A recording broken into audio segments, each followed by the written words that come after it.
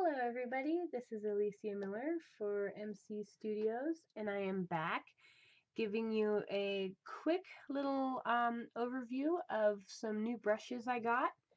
Um, I watch uh, Sandy Allnock here on YouTube and she was using these beautiful black brushes um, for her watercolor art and I just, I like them. I had some cheapy little um, acrylic brushes that I was using for my watercolors and like I said they're cheapy deepy. These are the silver black velvet 3000 S round. The S means it's short handled. It's not the long handled ones. These are from Sri Lanka and um, I got them in two, four, six, and eight in the round. They also come in wash brushes and they come in a whole bunch of different sizes and widths. Um, as you can see, it's a very nice, um, you can totally feel if you've ever worked with cheap brushes you get from like Walmart, you, you, you can tell the feel of them that they're cheap. But these ones, I don't want to say that they're heavy, but you can feel them in your hands. It might sound weird, but you can definitely feel them, and it definitely works for me.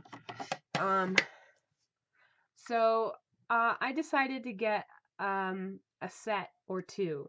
I have, I think, two of each size, two, um, four, yeah, four, and six. And then I have one eight size. This is size eight. Uh, pretty big. I also recently got, because I was pampering myself, some Voyage brushes, again, from uh, Silver Black Velvet.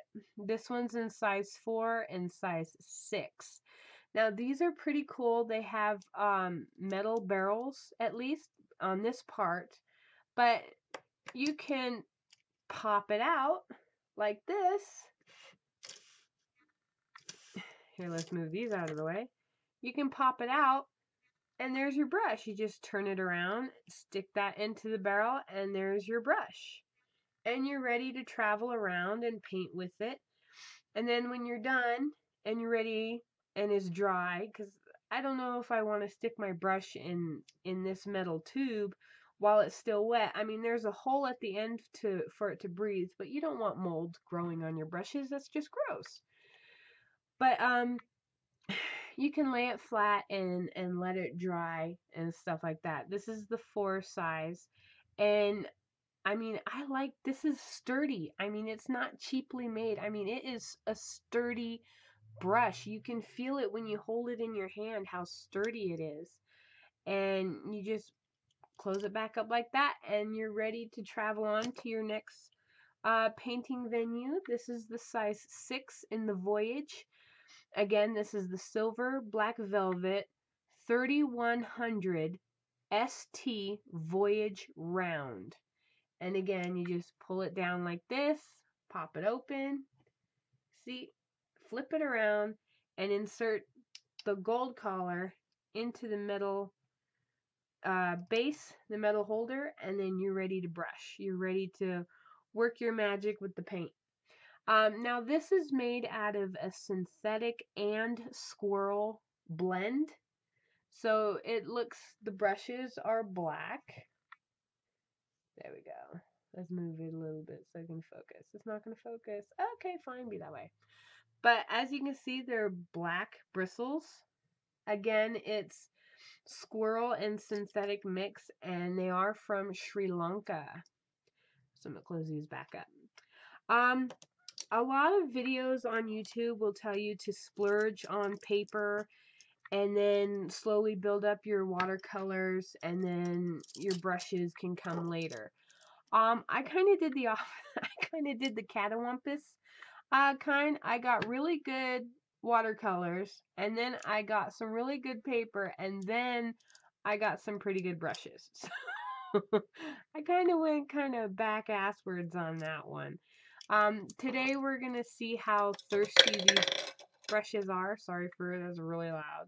We're going to start with the number two. I'm just dipping it into my clean water, tapping it on the side. And we're going to pick up blue because blue is pretty.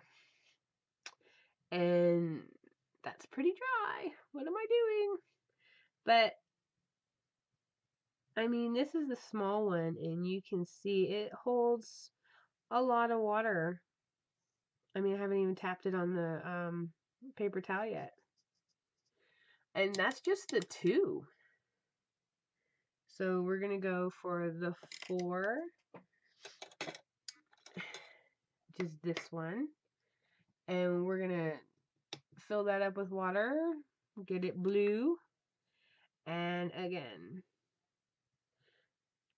the bigger the brush, the more water it's to hold. I mean, these brushes are very, very thirsty. I really like, um, I really like them so far. I haven't used them for any, any big pieces yet.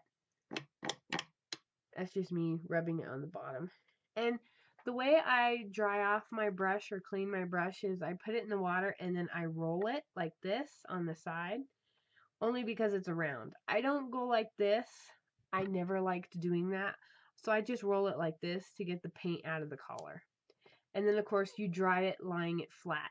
Or if you can, you can dry it vertical where the brushes are hanging down I have some poster putty on one of my shelves and I just basically stick my brush to it so that it can dry in a vertical uh, way so that um, it if there is any paint or pigment on there it can flow down to the tips instead of into the collar because that's how you can get brushes to fray out and look really really raggedy. So you definitely don't want that Here's a size 6. Again, it's a, of course, it's the bigger brush. It's a little bit wider. Uh, larger, holds a lot more water. We'll go to a different blue. And, I mean, the paint I'm using is the Mission Gold. It's in another video that I did here on YouTube. Um, and as you can see, the paint itself moves a lot and the brush holds a lot of water. I did re-dip into it and get more water onto the brush but as you can see as the brushes get bigger the more pigment you can lay down. They do have this what they call an oval wash brush. It's three quarters and I love that thing. I so want to get that next you know when I can afford it.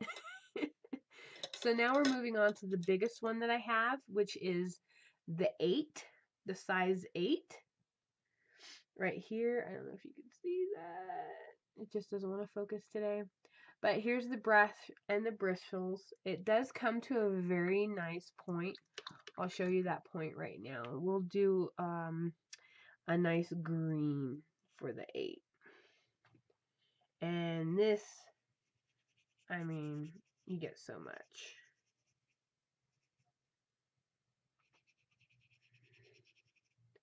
Fill up that brush really good. And just this be a good wash brush too if you had a smaller piece like this piece right here if you're just working on this size of um, paper. And then we're going to show you the point. And it gets a pretty nice point on it pretty fine point to it Let's uh, zoom in on that for you guys. But as you can see, the point, I mean, even though this is a large 8 brush, you can get a really fine point on this.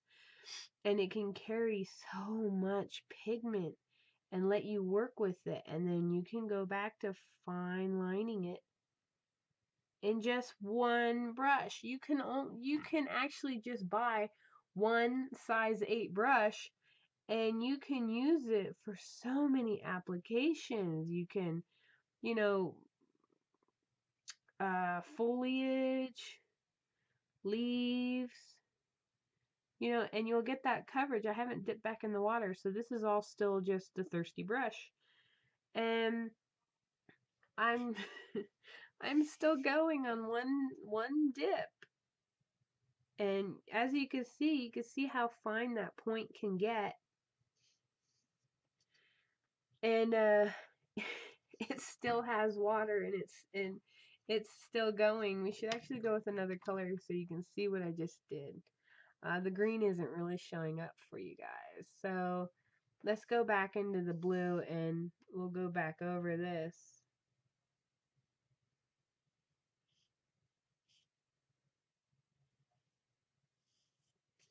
And as you can see, it's it's the point on the 8 alone pretty much matches up with the point on the 2. I mean, the 2 is extremely fine. But the 8 point, this is the 8 right here. And let's do the 2 in this one.